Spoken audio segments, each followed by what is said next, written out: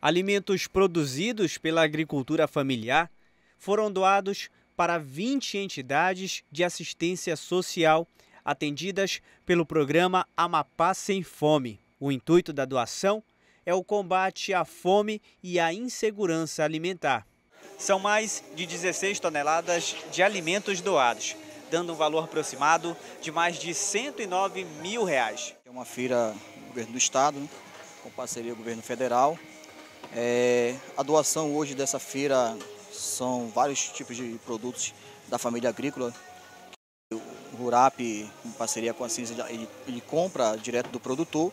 Para os representantes das entidades, a doação é muito bem-vinda para a realização de suas respectivas ações sociais. Saindo daqui, vocês estão levando lá para a sede de vocês. Lá será distribuído.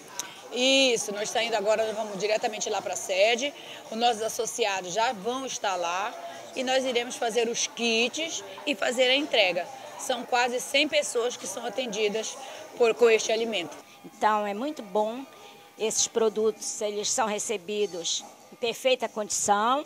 A gente faz a doação desses produtos lá na nossa sede para os idosos. Faz parte da iniciativa o Programa de Aquisição de Alimentos através do Instituto de Extensão, Assistência e Desenvolvimento Rural do Amapá, o RURAP, em conjunto com a Secretaria de Estado de Assistência Social. Essas entidades são entidades selecionadas através da Secretaria de Assistência Social. Né?